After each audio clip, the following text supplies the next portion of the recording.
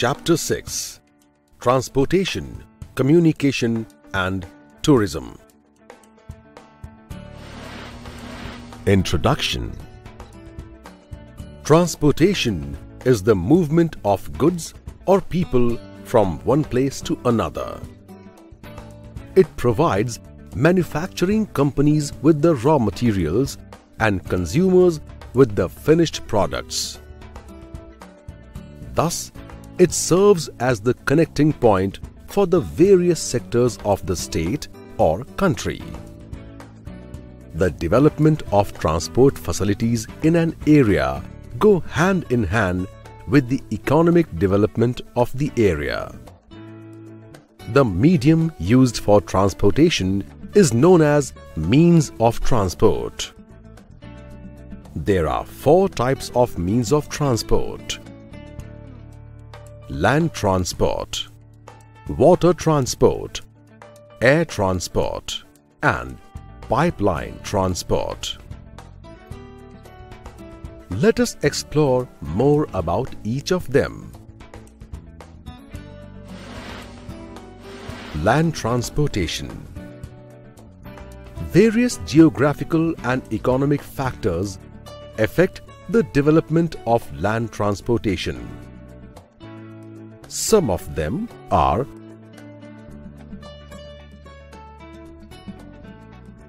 Topography Plains are flat lands and offer least resistance. So, it is easier to construct roads and lay out railway tracks in plains unlike hilly areas. Thus, plain lands have a more extensive transportation network than hilly areas. This is the reason why land transportation is extensively spread in the state except in the Sahyadri mountains which pose as a barrier for construction of roads and railway routes. For example, only a few ghats connect the Konkan region with the plateau region. Some of the ghats are Thal Ghat, Bhor Ghat, Ponda Ghat, Amba Ghat and Amboli Ghat. Density of population Areas like Mumbai, Pune, Nagpur, etc., which have high population densities need a more extensive transport network. Industrial region Areas with many industries need good connectivity in order to transport raw materials and goods from one place to another. Land transport is of two types, namely roadways and railways. Roadways Roads are ideal for covering short distances using cars, two-wheelers, trucks and tankers. Roads in rural areas are usually unpaved or kacha, where people travel to places by using bullock carts, bicycles, etc.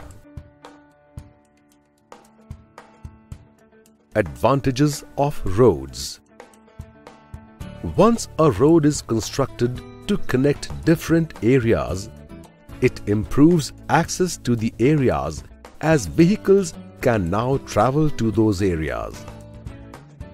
This helps people to not only reach a previously inaccessible region, but also to move raw materials and products to and from the newly accessible region. This in turn helps the development of agriculture and other industries in the area.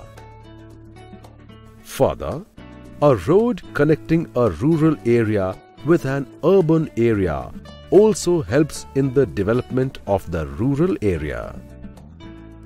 A good transport network also spurs the development of tourism.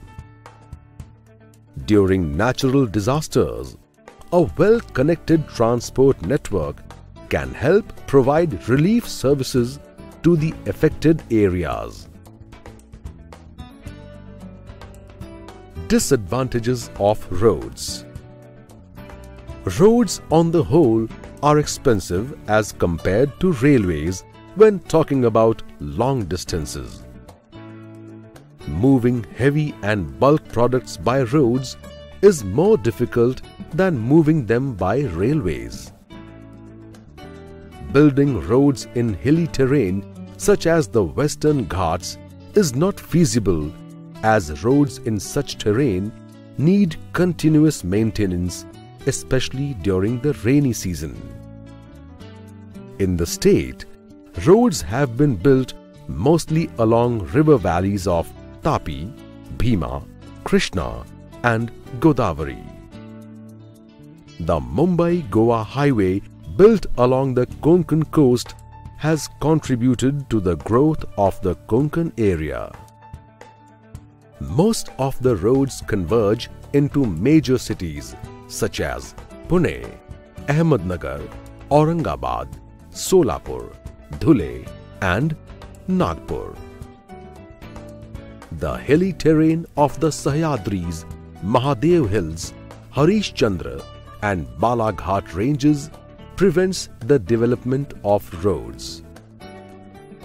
Due to the extensive forest cover in Gadchiroli, the road network there is less developed.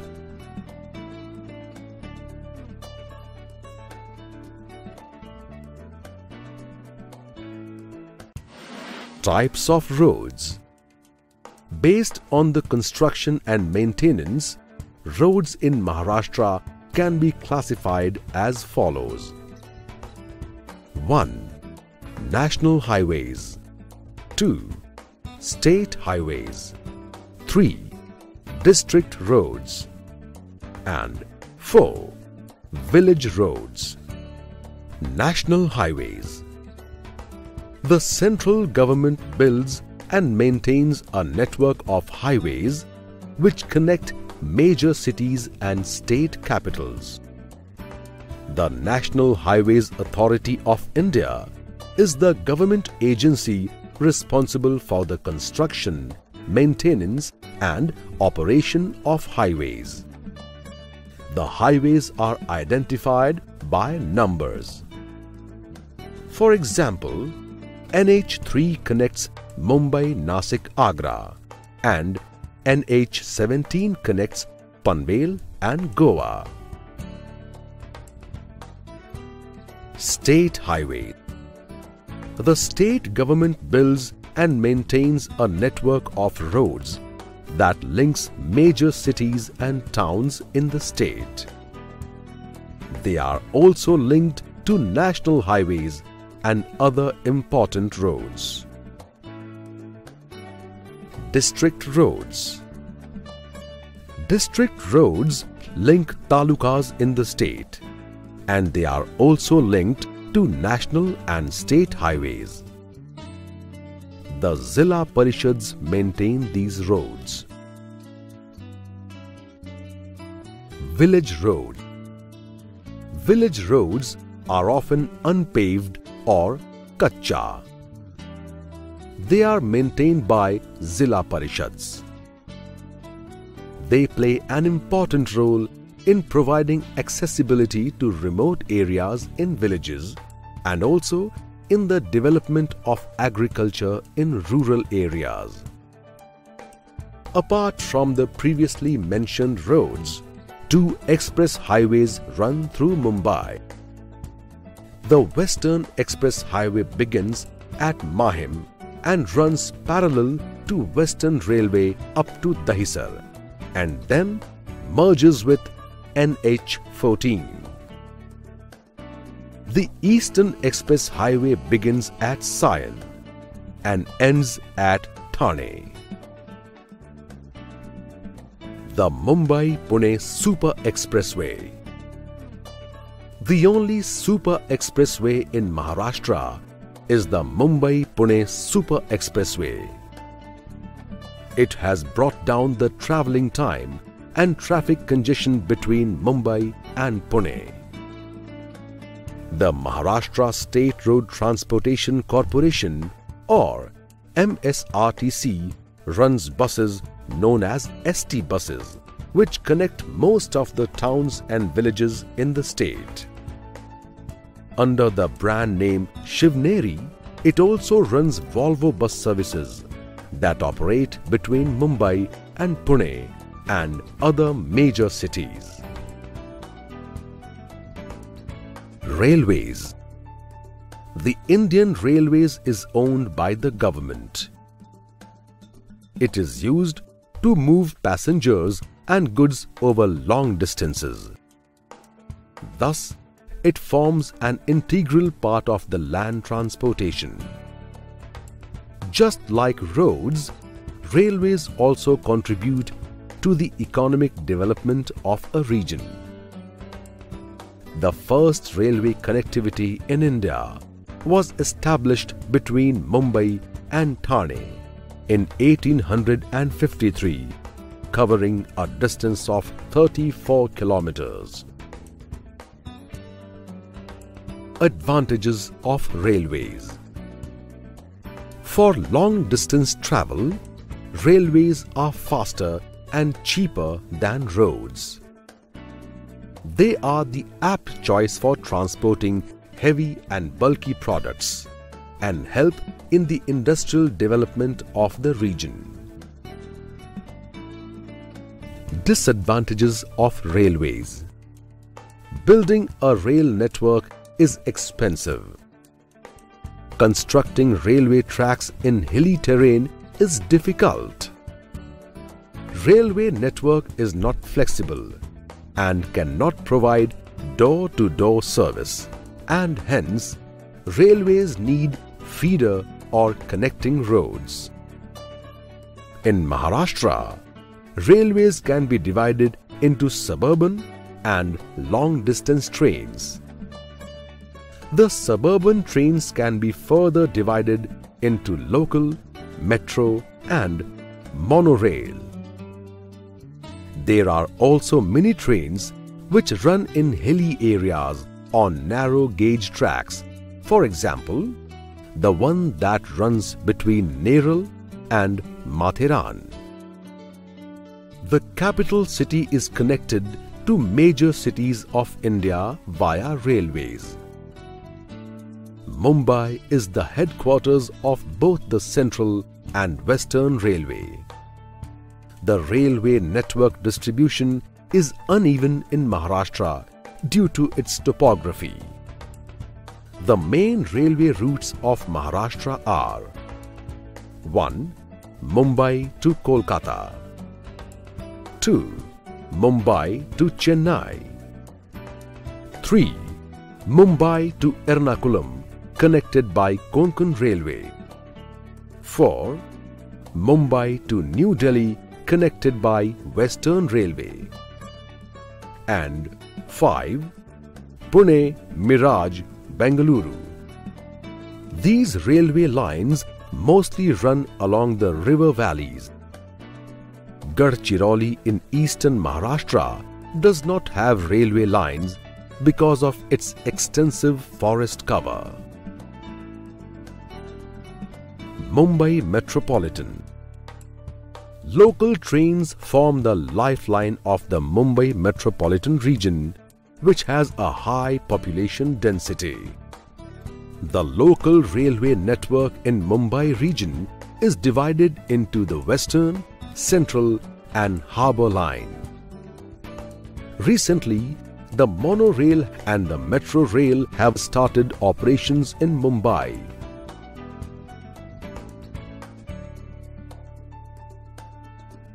Local trains in Pune run between Pune city and Lonavla.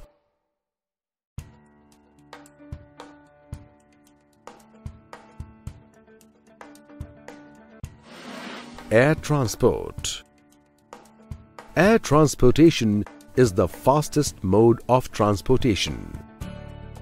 Therefore, it is ideal to transport perishable commodities such as fruits, vegetables, flowers, medicines, etc.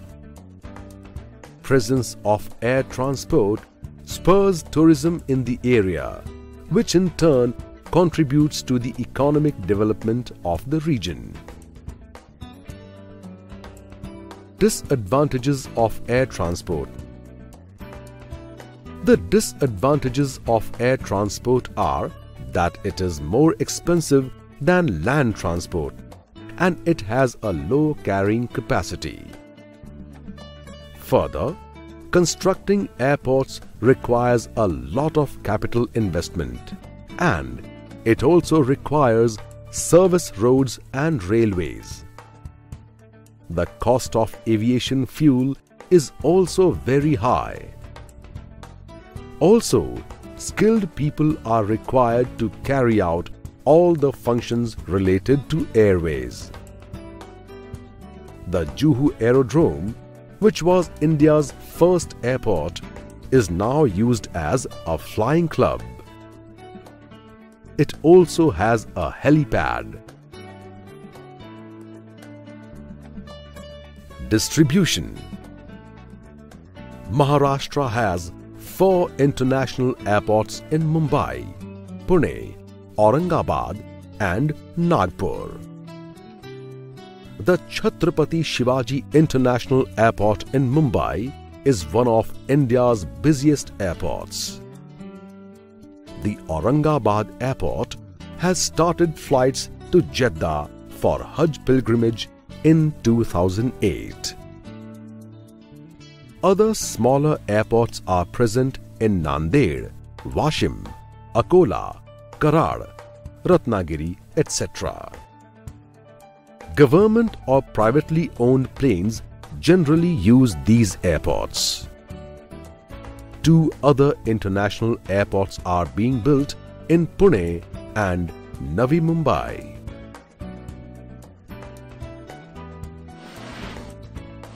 Water transport. There are two types of waterways. One, oceanic and two, inland waterways. Advantages of waterways Waterways act like natural highways. Hence, there is no need to construct roads and tracks. Ships are the cheapest and best mode of transport for heavy and bulky goods. Disadvantages of waterways the disadvantages of ships are that they are a very slow mode of transportation and require regular maintenance. Maharashtra has a 720 kilometer indented coastline and therefore has a number of ports. The major ports are Mumbai Port and Jawaharlal Nehru Port. Mumbai Port is a natural harbour. It is chiefly used for bulk cargo. A number of big ships anchor here because water there is quite deep. Jawaharlal Nehru Port, also known as Nhava Sheva Port, was commissioned in 1989 the port has limited manpower due to a high degree of mechanization, which manages all the import and export activities. The Konkan coast has around 48 minor ports, which handle passenger traffic, fishing or export of minerals. These ports are functional during all the seasons except for monsoon season. This is because the seas become rough during that period. Some of them are Srivardhan, Dabhol, Devgarh, Ratnagiri, Vijayadurg, Murud and Vengurla, etc. Inland waterways the rivers in Maharashtra are shallow and dry up in the summer as they are rain-fed. Further, they pass through rough terrain. As a result, the rivers in the state cannot be used as waterways. Ferries are not commonly used as means of transport to cross rivers, except in the areas nearby reservoirs where the accessibility is limited. Ferries ply in all reservoir areas which are surrounded by hills such as Koyna, Mulshi and Panshet. Pipelines Pipelines can be used to transport goods such as liquids and gases. Pipes can deliver water, crude oil and natural gas from the place of production to consumers. Crude oil and gas is usually transported through pipe from oil fields to the refineries and then from the refineries to the ports for export or to the marketplace. Advantages It is feasible to use pipelines in the long run as it does not require any fuel to run. Pipelines can be used in hilly terrain, laid underground and even under the sea. No delay is involved in the transportation of the material. Disadvantages Initial construction costs of pipelines are very high.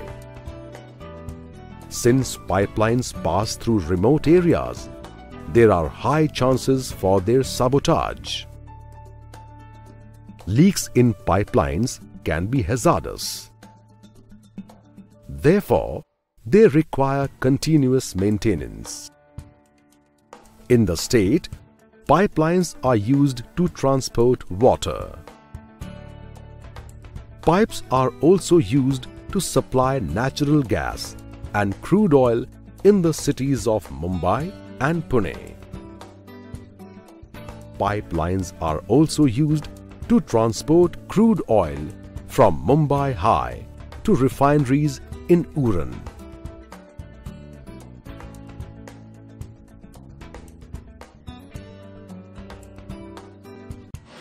Communication Communication refers to the exchange of information, knowledge and ideas between individuals. When information is shared with the masses or a large number of people, it is known as mass communication. Example of various communication media are telegraph, telephones, radio, television, films, computer networking, newspapers, magazines, etc. Let us quickly revise some important points about each of them. Post and Telegraph Sending letters through post is one of the oldest methods of communication. In the state, postal services are available even in the remote areas. The postal services offer various improved options such as speed post, quick mail service, parcel service, etc., which can be even afforded by common man.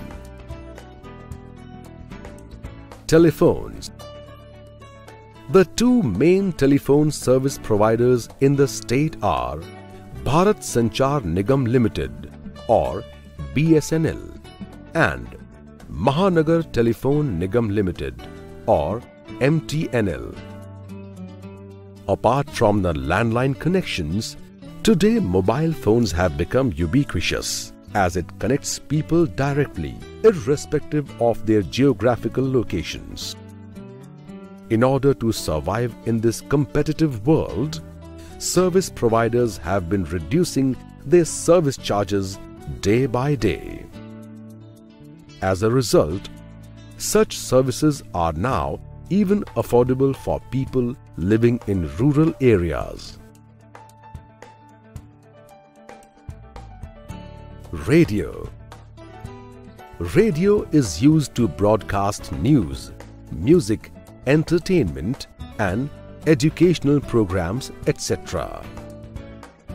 Many districts in Maharashtra have their own relay stations.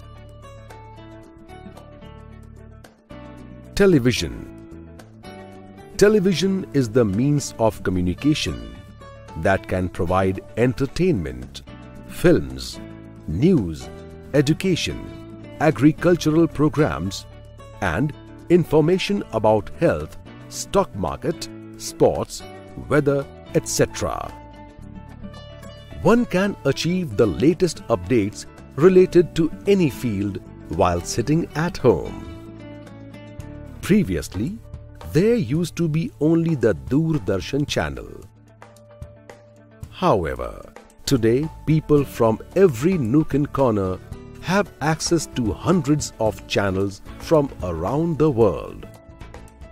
This has been possible only because of artificial satellites having the capability of sending the information that has been captured by it. Internet The Internet is a global system of interconnected networks based on certain communication protocols. It provides various information and communication services. The Internet provides information on any topic you want, making it a powerful source of information. The Internet has minimized distances, enabling us to immediately communicate with anyone around the world. Various services are now available through the internet such as online shopping, searching for jobs on job portals, networking opportunities and access to entertainment through online games, videos, films, songs and radio etc. It is because of internet that people from different geographical locations belonging to same profession can share information or help each other in case of emergency. Today, social networking sites like Facebook and Twitter are another way to connect with people online from across the world.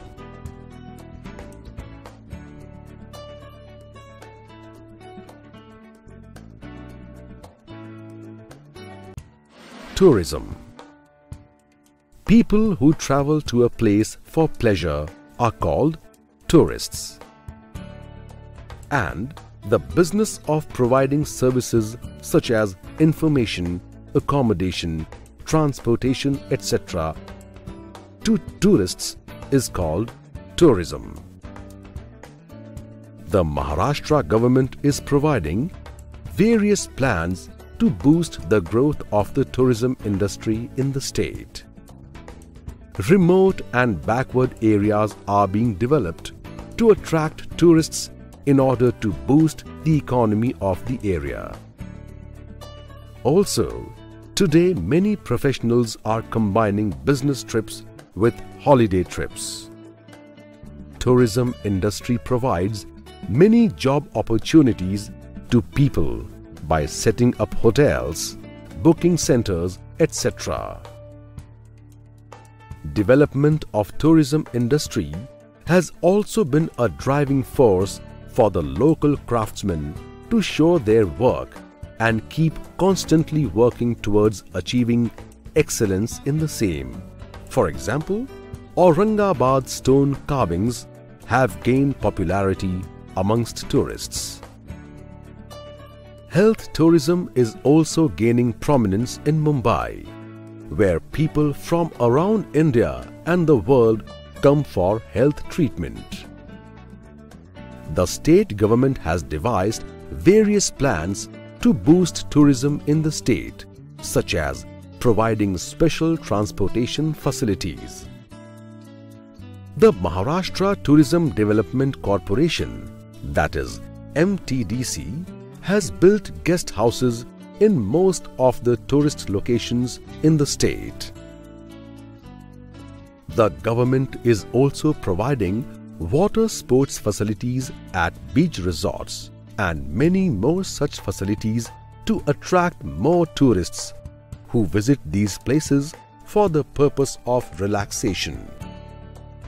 The MTDC, in alliance with Indian Railways, has launched the Deccan Odyssey, which is a moving palace on wheels with various five-star facilities. Foreigners enjoy their journey to many places of Maharashtra by this train.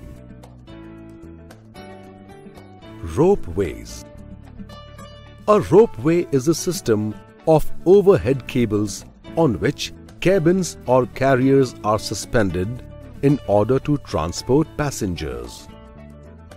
A motor drives the cables, which are suspended from towers. Usually, ropeways are used to cross deep valleys and steep slopes. For example, ropeways in Raigad that provide passengers transportation to Raigad Fort. Various types of tourist spots in Maharashtra are beaches, forts, hill stations, religious places, Historical places Beaches The state has many beautiful beaches in Mumbai, Alibag, Harihareshwar, etc. Forts A number of forts are found in Maharashtra. Forts like Murud Janjira, Sinhgarh and Raigad etc are quite popular among tourists. Hill Stations Some famous hill stations in Maharashtra are Mahabaleshwar, Matheran, Chikhaldara, Lonavla, etc. Religious Places Devotees flock to religious places such as Pandharpur, Shirdi, Nanded, etc. in the state. Historical places The state has many tourist spots having immense historical value. The Ajanta and Ellora caves in Aurangabad become center of attraction for many foreign tourists, particularly after the opening of the international airport at Aurangabad. Wildlife Sanctuary and National Parks A variety of birds and animals are found in the forests of Maharashtra. Many of these forests have been declared as national parks and bird sanctuaries to protect the native bird and animal species.